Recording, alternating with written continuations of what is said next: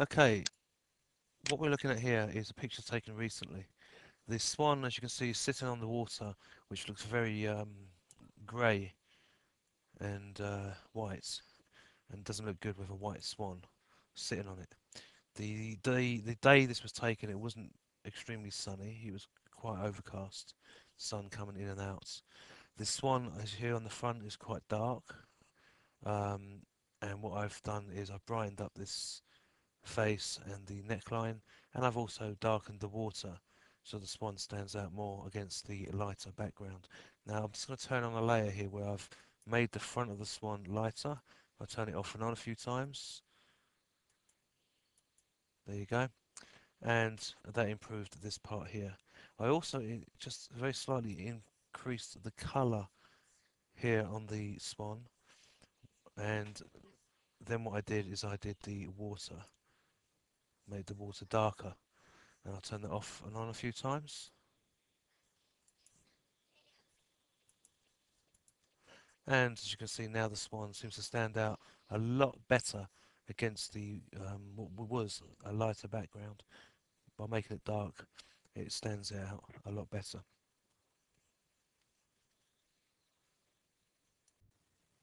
Okay, what I'm going to do first of all is I'm going to come down the screen here and I'm going to click on create new fill or adjustment layer and I'm going to go to curves, create curves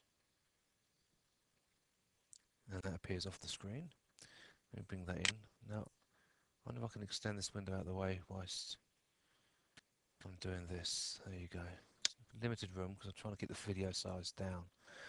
Okay, what I'm looking at here is the front of the bird, the neck, right the way down here because I want to brighten that up. That's all I'm interested in.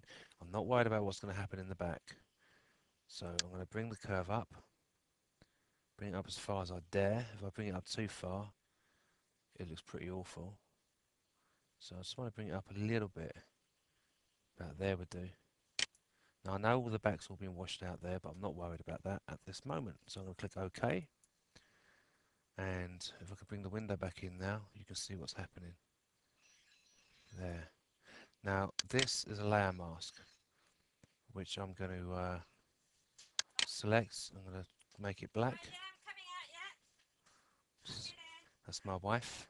As you can see, I'm not in the studio. I'm at home. Anyway, so I'm going to press that. What's wrong one? Sorry, I'm going to press Control and then Delete to make that black. So what I've done basically is like deleted it off there. Now, here comes the good bit, the painting. Now I'm going to come over here and I want to select my brush tool. Now if I can just move this down to that, you can see here I'm on whites. That black so I've got it on whites. And I'm going to zoom in to the bird. I'm using the mouse thing here the mouse ball or whatever you want to call it. Now the mask glare mask is selected. Now what have I got it on I've got 98% up there occupancy. Let's see what happens with that. I'm just painting now. Onto the there. You can see it getting lighter. So what I'm doing is I'm painting the mask. And it's revealing that layer curve we did. Doesn't look much on the beak, but trust me, that is actually quite bright. So I'm just painting up, I'm on 98%. See here on the fur, or the feathers I suppose, um, the brightness actually coming into effect. And this is all I did to brighten up the uh, this part of the bird and I left all the rest alone. Just simply starts painting. Now I'm doing it quite zoomed in as you can see. I could do it zoomed out but you get more control by coming in close to the subject and then you get much better control over the, what you're doing. Now I'm talking gibbering here, that's one of my sons. I'm purposely uh, doing this with my kids out because uh, I don't want to spend up all night when they're in bed. That's the only time you get any peace in my house. Anyway, you get the idea here. Just painting it down. I'm being quite daring here by going quite close to the edge. But if I make a mistake, what I've got to do is switch that over to black and I can paint it back on. Switch it over to white there. There you go. If I just zoom that out, you can see the difference here now. See how that that's being brightened up. It's a little bit too bright there, but I'm not that worried. And here we go all the way down. Now, you see, I'm zoomed out a bit here, like I said before. I could do it zoomed out, but you get you actually get less control, and it's easier to make a mistake. As you can see, looks like a piece of wood there, doesn't it? Anyway, just see what I'm trying to do. I'm trying to get right down to the edge of the water, just so you, you're sort of hiding the line. Now I could take the occupancy down now. Take the occupant, I can't even say it, you know what I mean, this, I could take this down, drop that down, it's about say 32, and just have a go at blending this now into the water bit. You'd have, as I said, spend more time on it. i am happy with that. Now we can zoom out. Now if I turn the layer on and off, we can see what we've done. There you go. Cool. Now all we've got to do now is repeat the step but with the water. So what I'm going to do is bring this in again. I can actually hide this layer here. Okay, and I'm going to click that um, create new fill there. I'm going to my curves. Now what I'm looking at now is the water area. Now I want to darken it, so I'm just going to pull the whole thing down. Excuse me, I'm about to cough. Oh dear. Okay, just getting over flu. Okay, that's, you could set that right down. That's a bit too much. Let's have a look at what that looks like. Move that a touch. Okay, it's. I mean, you'd have more time to sort of work with that. I'm going to just leave it there. There's our layer mask. I'll select that. I'm pressing Control and Delete. And now all I need to do now is make sure I've got this selected here. Excuse me. I'll move this out of the way now. Now, this is important. We're going to zoom right into the bird because this bird's got feathers.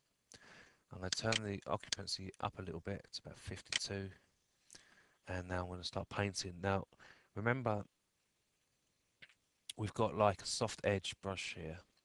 So if I paint here, you see how it's away from the bird? But as I start bringing it in, there, because I'm zoomed in close, I can see exactly what is getting darker and what's not. Now that's actually probably, I could probably get away with a higher occupancy here, so I'm going to turn this up. It's about 80. There you go. Now, I know I'm going over the same bit again, but you, this is the best way to do it is to work, is to build it up.